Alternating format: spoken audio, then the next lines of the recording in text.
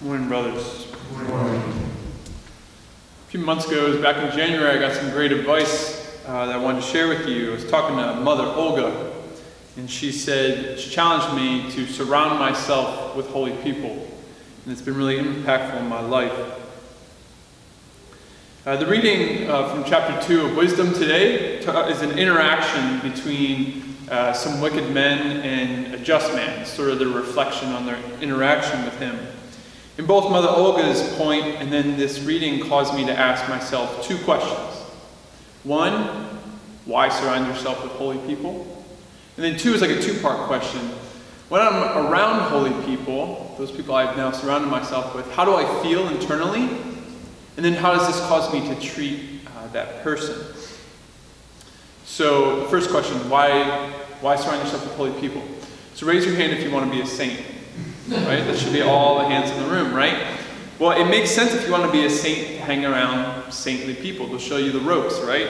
You are what you eat, if you will. And holiness is contagious. You know, you, so there's even some saints that you know talk about sort of the aroma or the smell of holiness. We think of and then, like saints, I think it's no coincidence that many saints knew each other or were related or were friends.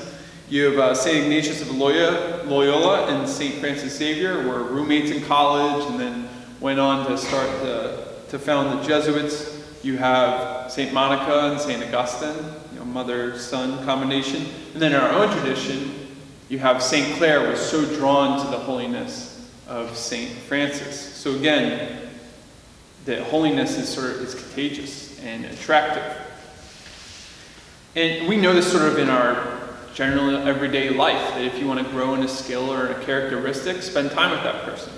If you want to get good at preaching, hang out with Paul Dressler. If you want to get good at music, hang out with Ross. If you want to get good at football, you know, be under Tom Brady. You know, it's like taking these people that are that are experts in their field, spend time with them, and then you will become like them.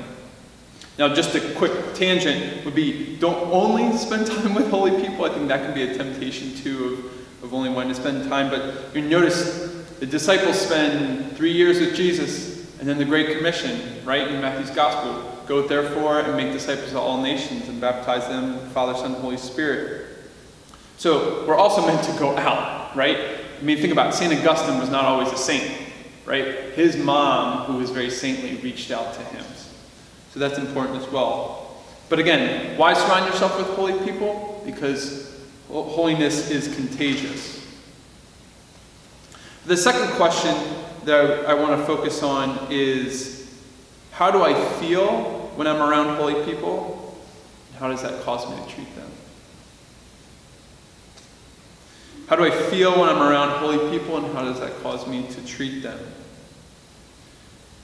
So I think one, one feeling that you can maybe have is uncomfortable. Feel uncomfortable being around holy people. And that can both be for a good reason and for a bad reason. I want to start with sort of the negative reaction, which is very much what we see in the first reading from Wisdom. We see that, these, that the wicked men are uncomfortable being around the just or the holy man. It, maybe that uncomfortability comes from your conscience being pricked, right? Because you become aware of your sins. It says uh, in Wisdom, this is the wicked men talking. To us, he, being the just man, is the censure of our thoughts. Merely to see him is a hardship for us, because his life is not like that of others, and his ways are different. Right? So it's this, it's sort of this defensiveness that's being, that's being welled up of, of writing him off. And now let's look at, there's, there's four other uh, phrases that they attribute to him. And there's like this build in this defensiveness as you, as you get more, as they get more and more uncomfortable in a negative way, right, by becoming defensive. First, they say he is obnoxious to us. So they label him. Luke was talking yesterday about labeling. So it's almost like this labeling of writing off. He's obnoxious. Next, they say, let us see whether his words are true, right? So they're, they're instilling doubt into his authenticity. Right? So they're sort of attacking his authenticity.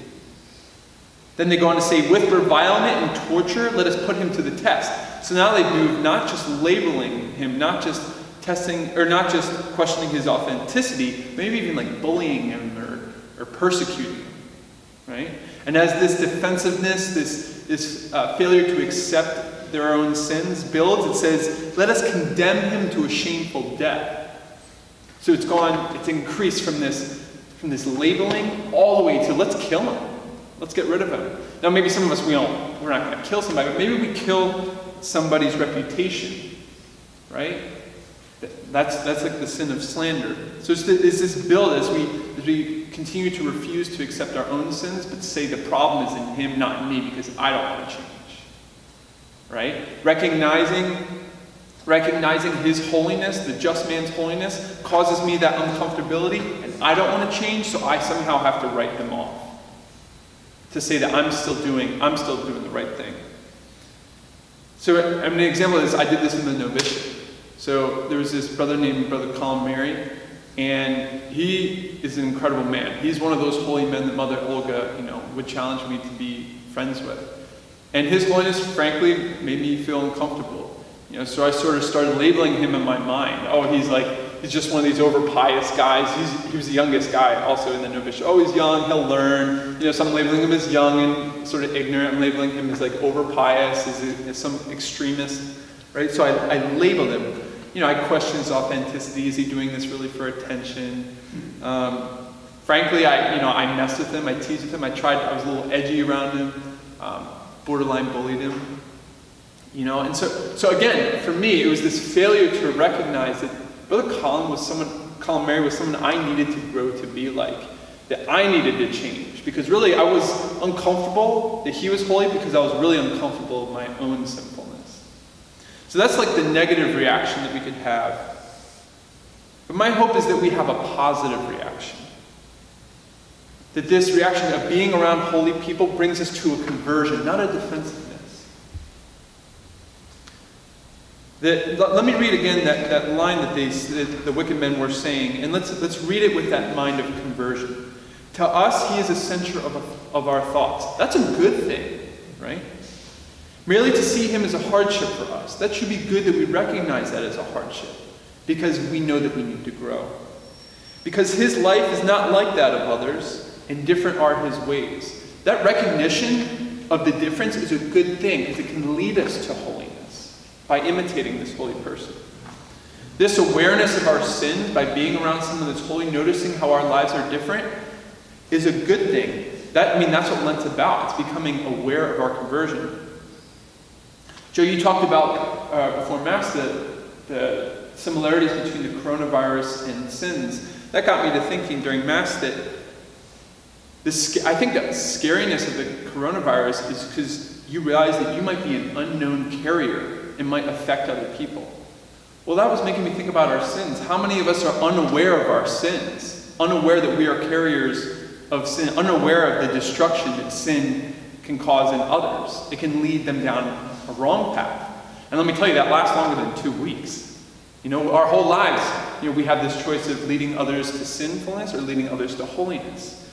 Right? So this awareness of our sins being around someone who's holy is a good thing because it can bring us to conversion. Like, holiness should really be attractive, right? Conversion should be an attractive thing.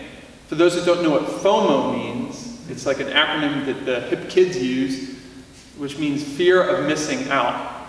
Do we have a FOMO of not living a holy life? A fear of missing out on a holy life? We, we, see, we see this attractiveness to holiness in the disciples. You have Peter, Andrew, James, and John. When they're called by Jesus, they immediately get up and follow Jesus. It's this attractiveness to holiness. We see with the 5,000, in the story of the feeding of the 5,000, you have 5,000 people that are attracted to the holiness so much that they don't have enough to eat. They forget food, or they don't have enough food. Right? So there's the striving to conversion, the striving to be around holy people. But let's ultimately realize that who is the, holy, the holiest person of all would be Jesus Christ.